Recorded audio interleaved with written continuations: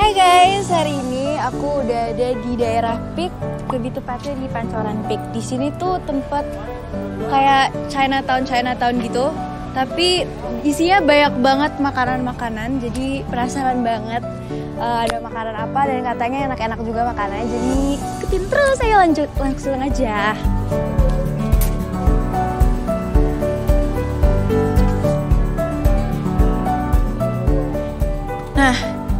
Pertama kita ke yang lorong bagian ini dulu.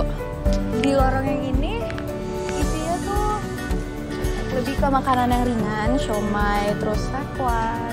Nggak yang gitu berat-berat. Jadi pertama mau makan di sini dulu ya, jangan yang terlalu langsung berat.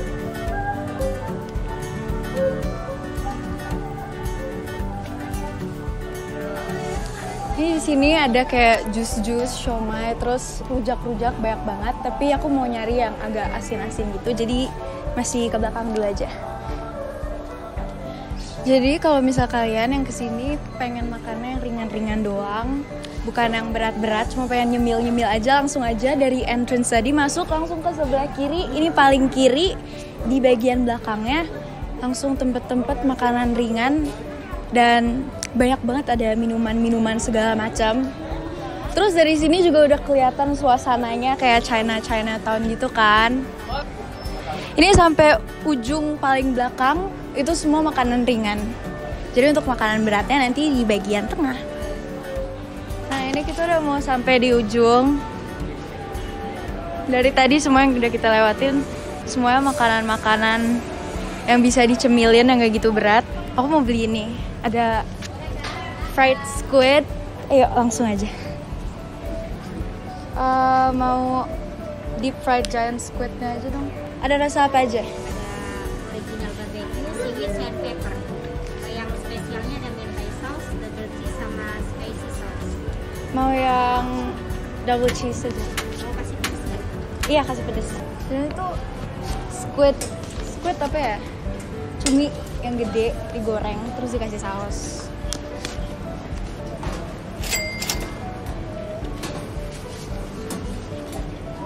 Jadi ini yang tadi aku pesen deep fried squid double cheese gitu. Ini udah dipotong-potong. Ini sih banyak banget ya karena tadi squidnya yang gede banget kan. Kalau misalnya nggak dipotong-potong ya makan pakai stick langsung gitu kayak.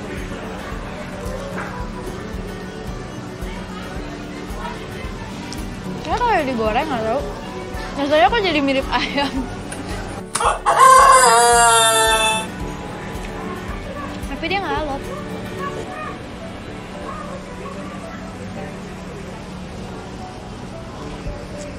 Terus juga cheese-nya dikasih banyak banget. It cheese-nya banyak banget. Ini makanan doang bisa kenyang sebenarnya. Padahal makanan ringan. Banyak banyak itu. Mau dikasih bumbu bumbu cheese sama mozzarella di atasnya.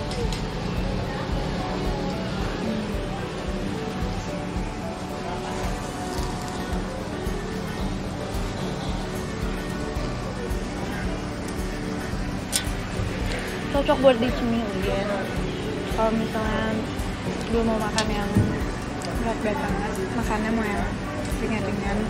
Kita mau bawa uh, ke mana. Ini bisa di grab juga. Bisa pesen dari rumah juga. Jadi kayak biasa kan fried chicken kan? Fried chicken yang di deep fried gitu. Kalau ini uh, fried squid tapi rasanya nggak beda jauh kayak masih nggak alot gitu loh. Biasa kan ada kan kayak squid squid yang jadi alot gitu tapi kalau ini nggak alot sekali. Jadi tetap bisa apa sih punya habel chewable lah.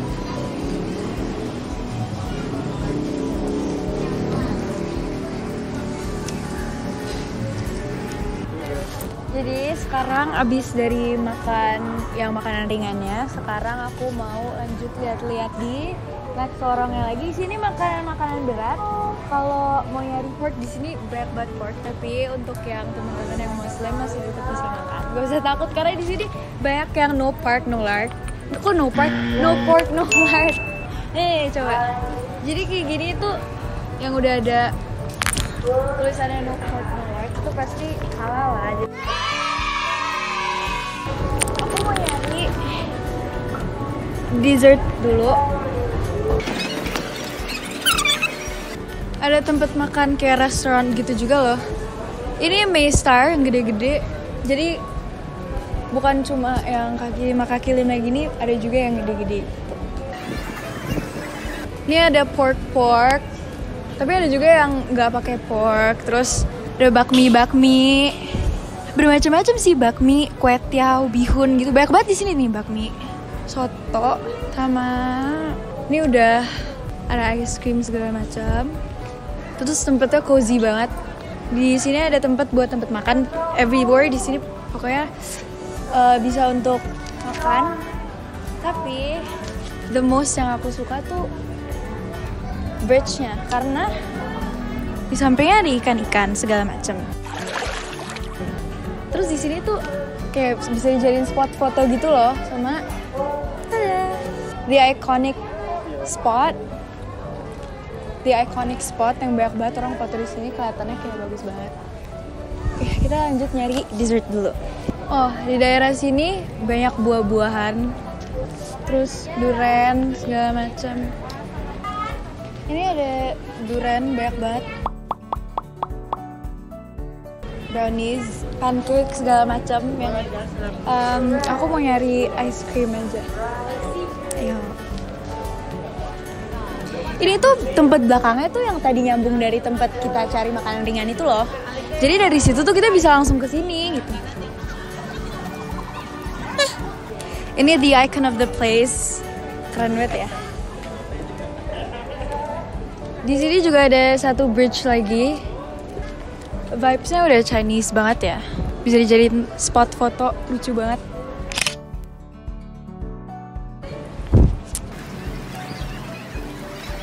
Nah, di sini tuh makanan yang berat-berat. Jadi makanan berat di sini semua makanan berat. Di sini ada nasi lemak. Terus sampai situ nyambung lagi ke tempat yang sebelah. Dan ini vibesnya emang Chinese banget kan. Jadi cocok banget buat foto-foto ala-ala Chinatown Chinatown gitu deh. Aku mau ke sebelah situ lagi. Tadi mau beli ice cream yang udah lewat kelewatan. Ayo kita sambil muter-muter aja ya. Oh ya di sini juga ada grocery. Jadi kalau misalnya mau grocery shopping bisa ke sini juga. Di sini tuh yang jual kayak makanan makanan ringannya kayak chips atau banana milk gitu di sini ada. Jadi kalau misalnya mau keluar ini nembus sama tempat parkiran. Ini kayak yang tadi aku bilang bukan cuma yang kaki lima kaki lima doang di sini ada kayak Maystar segala macam. Dan tempatnya tuh gede, bisa makan di dalam. Ini tadi kita udah ngelewatin sebelah situ tempat yang tadi kita lewatin paling pertama yang tadi beli fried squid itu di situ nyambung. Pokoknya banyak banget tempat masuknya entrance tuh banyak banget terus nyambung nyambung gitu loh jadi nggak jauh-jauh harus muter. Aku mau beli ice cream di sini. Mau buka?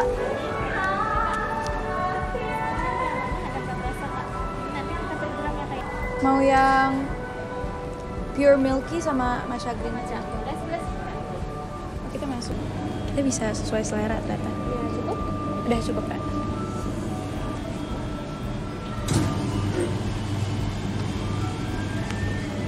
cukup cukup. Kopinya untuk apa aja kak? ada aku mau nata ada koko? Hmm, mau topping boba yang ini aja. Yang enggak. iya sama ini apa kak? Itu peach jelly. oh yaudah peach jelly aja. Udah. Udah ini aja. iya. Timbang dulu ya kak ya. timbang dulu. Jadi itu kayak eh, bukan self service sih tapi bisa sesuai selera kita mau seberapa banyak. 108.750 Mau pakai Shopee Pay atau cash? pakai cash aja jadi ini yang tadi aku pesan aku pesan yang matcha sama yang pure milk. Sama plus additional nata de coco popping boba yang mango sama peach.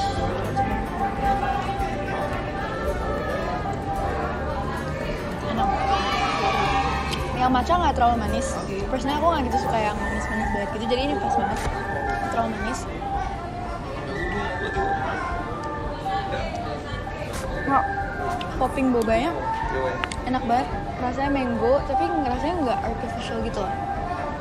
Nggak bikin seret gitu. Sekarang pengen coba yang pure milk.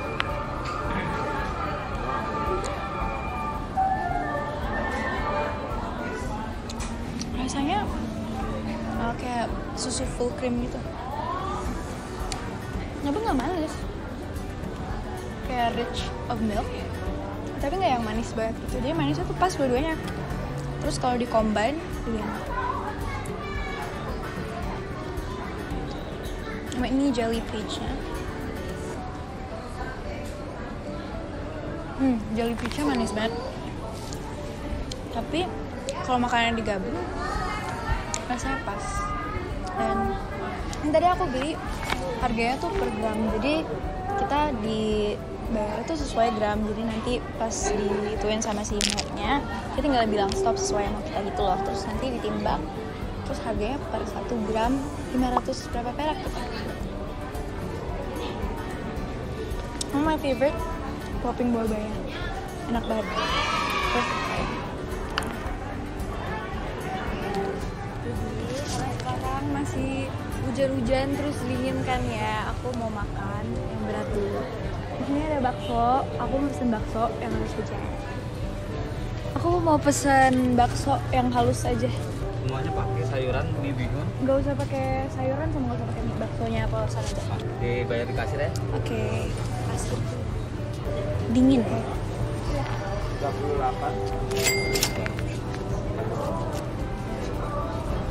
sekarang kita tinggal tunggu.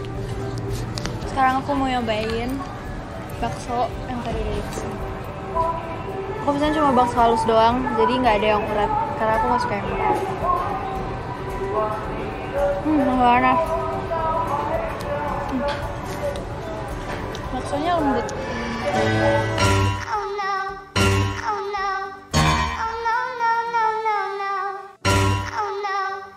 Oh. Oh.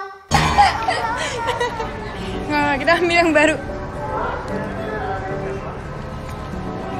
Pesen yang halus doang dapat 4 biji. Terus kita dikasih ekstra sambal, saus sambal, terus ada sambal cabe sama saus-saus segala macam sama salt segala macam nih. Terus eh, kita bisa racik sendiri, jadi sesuai selera kita.